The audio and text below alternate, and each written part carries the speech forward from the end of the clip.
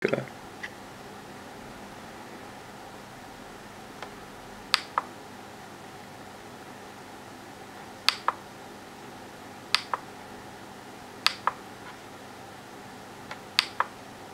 She, she's select the top one.